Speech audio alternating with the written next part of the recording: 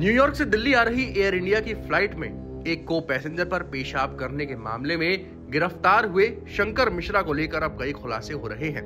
शंकर मिश्रा जिस फ़्लाइट में सवार थे, उसी में सफ़र कर रहे एक अमेरिका में बतौर डॉक्टर प्रैक्टिस कर रहे सौगात भट्टाचार्य ने भारतीय मीडिया से बात की है। भट्टाचार्य ने बताया है कि फ़्लाइट में उनकी शंकर मिश्रा से बात भी हुई थी। शंकर मिश्रा ने बताया कि वो इतनी शराब इसलिए पी रहे थे ताकि वो आराम से सो सके।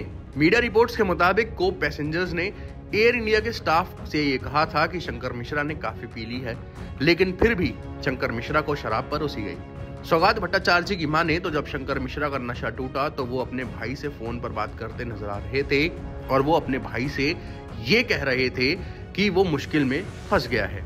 डॉक्टर सौगात भट्टाचार्य के मुताबिक शंकर मिश्रा और उनकी काफ़ी बातचीत भी हुई थी, लेकिन शराब ज़्यादा पी लेने के कारण वो बातचीत भी नहीं कर पा रहे थे। दरअसल डॉक्टर सौगात भट्टाचार्य वही शख्स हैं जिन्होंने दो पन्ने की लिखित शिकायत शंकर मिश्रा के खिलाफ दी थी।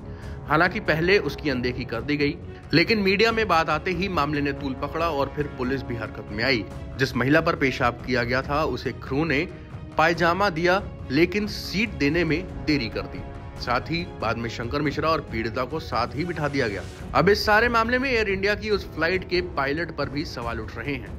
आपको बता दें कि ये मामला 26 नवंबर 2022 को न्यूयॉर्क से दिल्ली आ रही फ़्लाइट का है। फ़्लाइट में सवार शंकर मिश्रा नाम के शख्स ने एक सत्तर वर्षीय महिला के ऊपर नशे की हालत में पेशाब किया था, साथ ही अपने निजी अंगों को फ्लैश किया था।